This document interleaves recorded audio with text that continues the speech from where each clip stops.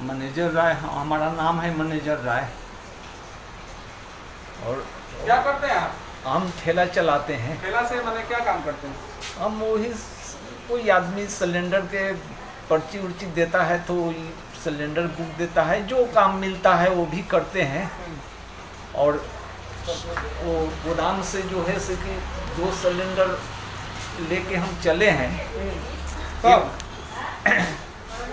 कब का बात है ये? लगभग आज का बात है ना? आज आज का बात है। हाँ, कब का?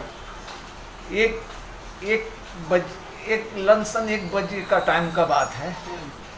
तो हम जो है सो कि डीसी बंगला का पीछा साइड में जहाँ चावल गोदाम है टार्लिंग उसी जगह हमको घेर लिया है। धक्का मार के गिरा दिया है और सिलेंडर उठा के गाड़ी में लोड करके चल दिया है। हम्म, हम पीछा तक कुछ कुछ दूर तक हम ये किए हैं लेकिन घूम के नहीं देखा है।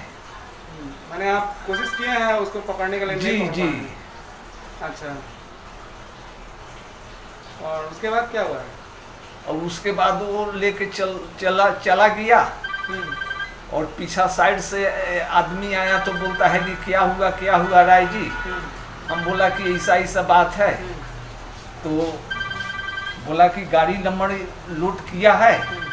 हम गाड़ी नंबर हम लूट तो नहीं करने सका है गाड़ी नंबर हम याद नहीं किया घटना आपका कहाँ हुआ है? एग्जैक्टली कहाँ हुआ है? कौन सा जगह में हुआ है? वो डीसी बंगला का पीछा में पीछा साइड में डार्लिंग है वो चावल गोदाम है उसी जगह। उसी जगह हुआ है? जी जी।